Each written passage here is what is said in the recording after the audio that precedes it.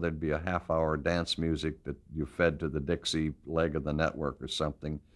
And, uh, but it was thrilling. A lot of it. I would be sent up to the Cotton Club in uh, Harlem.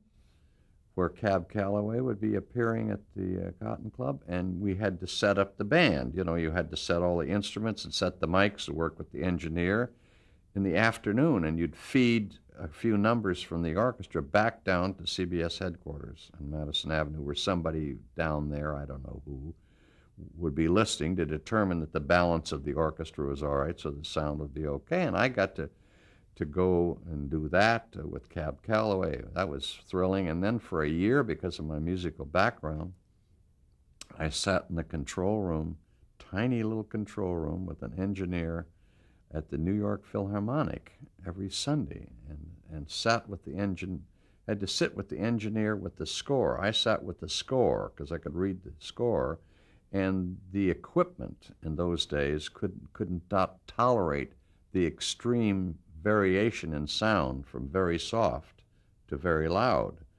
It couldn't handle it. The soft stuff, you had to sneak up the, the volume. The engineer would have to turn up the volume a little and the loud stuff, he'd have to sneak back on the volume because they had a thing on the transmitters of the local stations in those days called a peak limiter.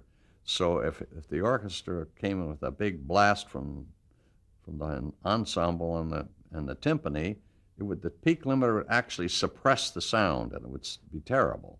So the idea was for the director to sit with the engineer and smooth that out, make the sound, warn him to bring it up, take it down and do that was thrilling because I saw all the great composers, great conductors and artists that went through there.